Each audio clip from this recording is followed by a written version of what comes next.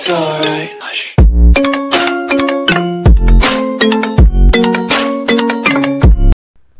Hush. Pues buena gente, bienvenidos a un nuevo video, yo soy JCT chicos, hoy tengo un video diferente ya que tenemos la versión de MIUI 12 para el Redmi Note 9S, acaba de llegar, ya vamos a descargarla, vamos a ver qué trae esta nueva actualización, tenemos un nuevo centro de control, dice nuevo deslice hacia abajo de la esquina superior izquierda para abrir la barra de notificaciones y de la esquina superior derecha para abrir el centro de control, es una función de un panel de control diferente, el modo oscuro hace una optimización, mejoran el brillo y color para fondos de pantalla en el modo oscuro, sistema, eh, sistema tenemos reparado la pantalla de inicio se volvía negra y comenzaba a parpadear después del desbloqueo en algunos casos.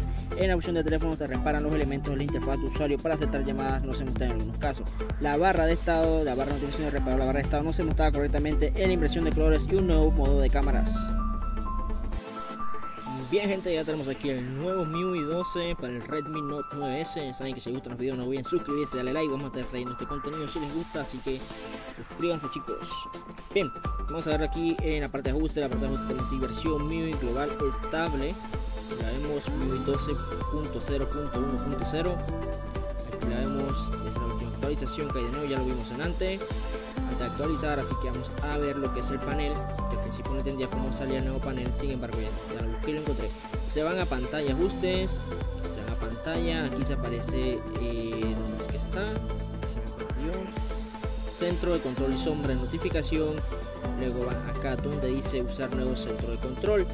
Aquí ya lo encuentran, lo único que tienen que hacer es que con la parte superior, si bajan acá, si bajan acá están las notificaciones como ven, de este lado, y si bajan del lado derecho, aparece el panel de control, un centro de control que está bastante bueno, se parece un poco al de iOS. Está bastante bueno, ahora sí me aparece el grabador de pantalla, tengo un problemita allí que no me aparecía el grabador de pantalla, estoy confirmando. Si quieren agregar o quitar alguno, solamente colocan aquí a poner, están en menos, le colocan el signo de menos, menos aquí vibrar, y se agregará a la parte de abajo. Agregamos así.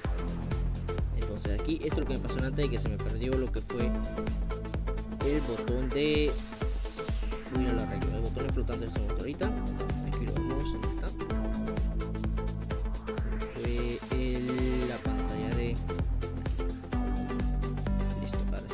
añadido ahora sí ok entonces lo que aparecen en menos son los que ya están agregados estos que están acá son los interruptores disponibles que pueden agregar acá como lo ven estos son los que pueden agregar los que están arriba son los que pueden agregar los que ya están agregados los de abajo son los que pueden agregar. Eso está un poco confundido entonces para la modo rotación quitamos el escáner quitamos el modo molestar el ahorro de batería el bloquear esto lo demás si lo dejamos así. Esto también lo vamos a quitar. Quitamos la ventana flotante que va a mostrar que es. Vale el botón flotante lo colocan aquí. Entonces metemos una aplicación. Vale vamos a abrir digamos música.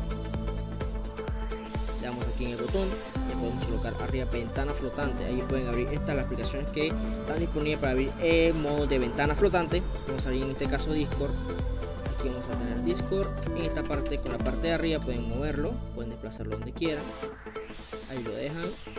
Y con la parte de abajo pueden cerrarlo. Pueden abrir muchas eh, diferentes aplicaciones lo que es acá nos ponen ventana flotante no hay aplicaciones tienen que tocar acá. Ponen ventana flotante y pueden abrir diferentes pantallas. Vamos a ver un Word aquí lo vemos. Un archivo Word aquí lo tenemos vale si lo van en las esquinas se agranda un poco y si lo van ponemos acá otra vez lo agrandamos.